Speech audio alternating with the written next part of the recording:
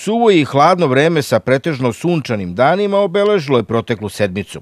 Srednje dnevne temperature vazduha su se kretale u intervalu od minus 4 stepena u višim predelima na jugoistoku i jugozapadu do plus 4 stepena u Vojvodini, Posavini i delu Šumadije.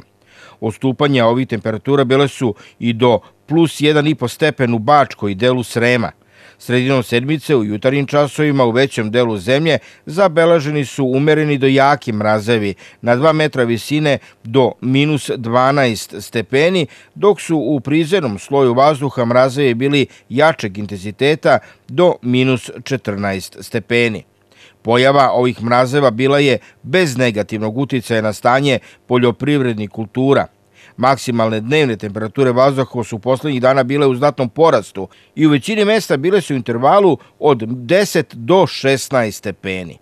Agrometeorološki uslovi bili su povoljni za stanje prezimljujućih poljoprivrednih kultura, a povoljni vremenski uslovi su omogućavali obavljanje radova u voćnjacima i vinogradima, pre svega rezidbu i džubrenje, obilazak parcela pod ozivim usejima i njihovo prihranjivanje.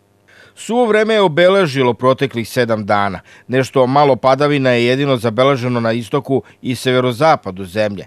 Procenat padavina u poslednjih 30 dana u odnosu na prosek je u delu Bačke i Srema i na jugu do 300 odsto. Na većem delu zemlje taj procenat je između 150 i 200 odsto, dok je u centralnom delu Srbije u okvirima proseka za ovo doba godine.